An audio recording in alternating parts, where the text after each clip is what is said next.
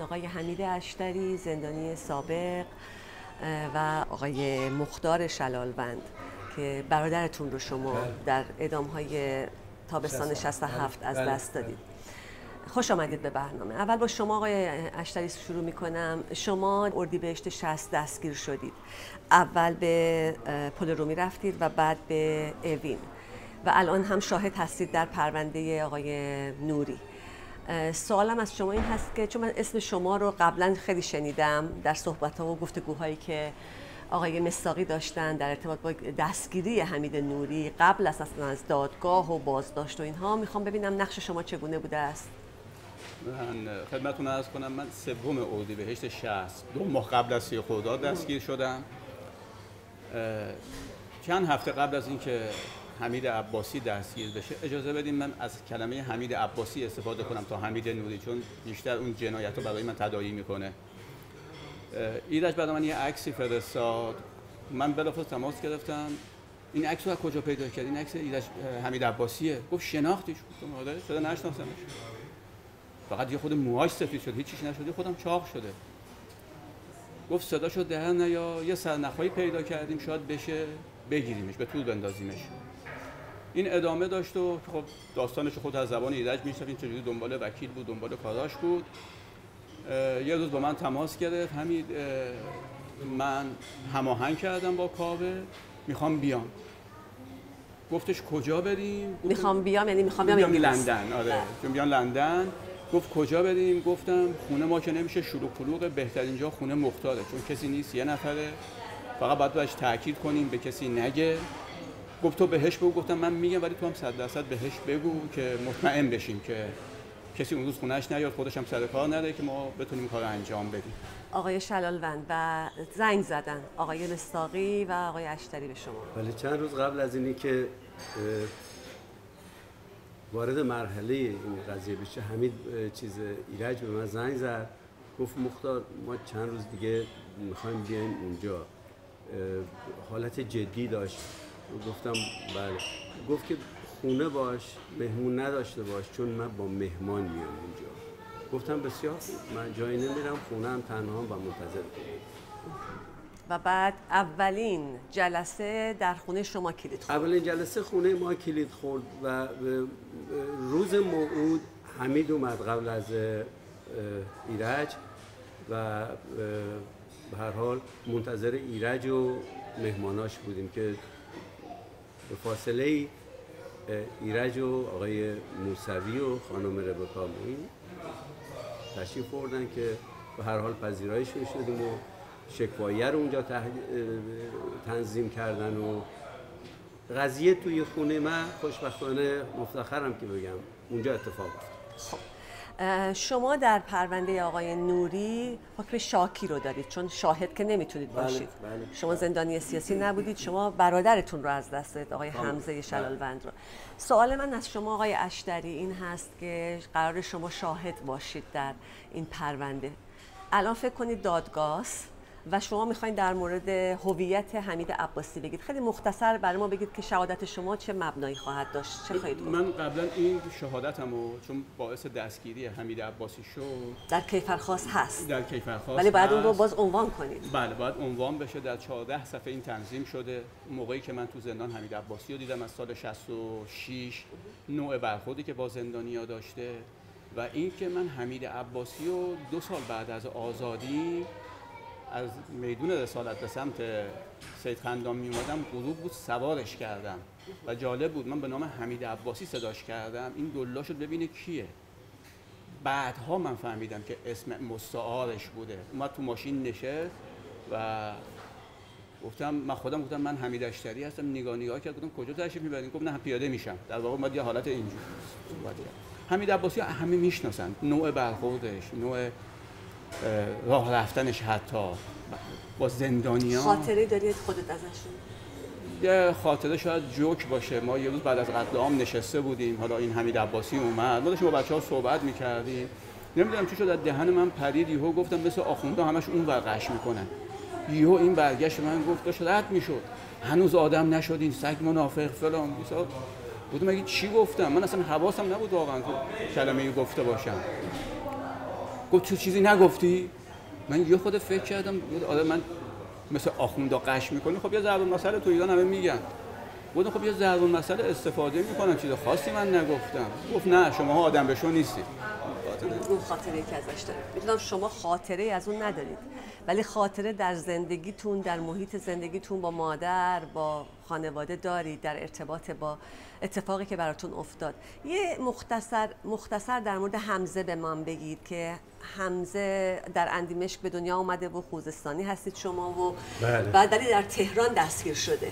بله حمزه تو تهران دستگیر از شد. حمزه بگید برامون خورده. بله حمزه سال 60 تو تهران دستگیر شد و ما متوجه شدیم که حمزه رو گرفتن و در سال 67 تو زندان گوهردشت مدت زندانیش تو گوهردشت بود. آخرین باری که مادر من حمزه رو دید اواخر اردیبهشت 67 بود. که بعد از اون ما دیگه چیز نداشتیم ملاقات نداشتیم. البته من نبودم خانوادم چون من دیگه خارج شده بودم. ملاقات نداشتن و بعد خبر این پیچیده بود. مادرم که واسه ملاقات های بعدی می‌رفت ملاقات نمی‌دادن. به هر حال دوباره برمیگشت و غمگین بود. خونه رو اصلا چیز می‌کرد. به هم میریخت. به هر حال وقتی که یه عده‌ای- سنی هم نداشت حمزه. حمزه 33 سالش بود. حمزه 33 سالش بود که اعدام شد.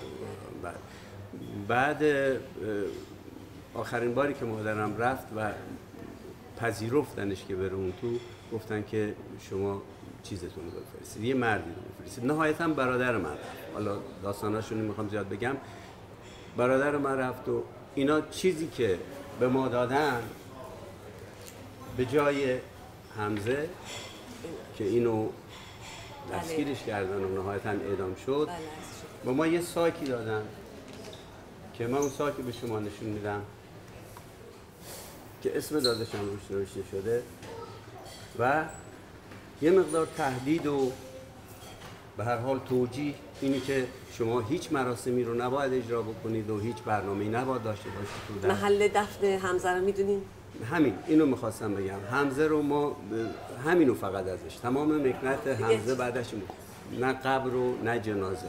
و متاسفانه من خب قبر جنازه رو که ندادم به دنبال قبر خواهرم و مادرم مرتب می‌رفتن تهران از شهرستان اندیمشک تا اونجا و هرگز اینا به ما چیزی رو ندادن و تو یکی از این مسافرت ها هنگام برگشتن خواهرم دچار تصادف ماشین شد و اونم دقیقا این این از بین رفت این حمزه و خانواده ما اصلا کلا با این دوتا مرگ حالت تلاشی پیدا کرد. و نهایتا مادر من بود و غم و غصه های خودش و دنبال عدالت بود؟ بله دنبال عدالت بود. ما دنبال ما می‌خواستیم بدونیم آخه اینا رو چرا کشتن؟ یعنی خانواده ما دنبال این بود که بابا اینا زندانی گرفتن. ده سال به زندانی دادن. هفت سالش گذرونده. سه سال دیگه مونده. با این امید که داره تمام میشه. ولی اینا ساکشو به ما دادن و همه این- اینا میشه مبنای شکایت شما در دادگاهی که قرار است. دقیقا دقیقا ما به دنبال این هستیم. به دنبال این هستیم. قبر کجا؟ به هر حال چه کارشون کردیم؟ به چه جرمی؟ زندانی حکمدار رو. بعد ما دنبال این هستیم. اه، آقای اشتری شما به دنبال چی هستید؟ ببینید این در واقع من نه الان من از روزی که از زندان آزاد شدم یه احساس دین و وظیفه می‌کردم در مقابل دوستان و شما 65 یا 67 اه، من؟ آخر 67 بوده 67 شما. شدم بله. بله. و تو هم مراحلی که بود چه با قاضی جفری بود که من به عنوان شاهد ایشون شرکت کردم تو اون تنظیمیهشون که اون حکم دادن چه دادگاه ایران تریبونال بود همیشه دنبال این بودم که خواهی نخواهی این باید باز بشه این مهیا بشه بالاخص تو این دادخواهی اسمش گذاشتم جنبش ملی دادخواهی. یعنی از پشتبون رفاه شروع میشه تا همین امروز که دارن تو خوزستان می‌کشن. در واقع این صندوق اسراره. چیزی که با حکم خمینی بوده. به خاطر این که خط قرمز کل عوامل این حکومت هستش که نمی‌خوام وارد بشن.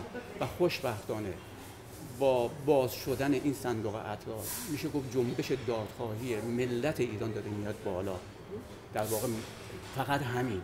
افشاگری باز شدن حقیقت. اون چیزی که من دنبالشم اینه. به چه جرمی چهل و دو سال دارن می‌کشن و اعدام می‌کنن و هنوز ادامه داره و هنوز دست از راه نشستن؟ به این دادگاه شما آقایون امیدوار هستید که عدالتی رو ببینید شاهد عدالتی باشید یا نه؟ چون از روز اول بودید تو این قضایی ها و جزئیاتش مقدار بیشتر می‌دونید.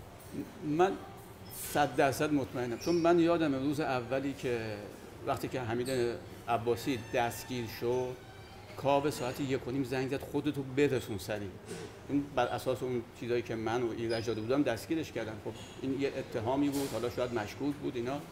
وقتی که من اومدم شهادتم روز دوشنبه دادگاه خب رفتیم پیش پلیس جنایت جنگی. من شهادتم رو دادم. روز سهشنبه واقعا روز استرس و استراب و هیجان انگیزی برای ما بود. روز ببخشید چهارشنبه که دادگاه بود 13 هم.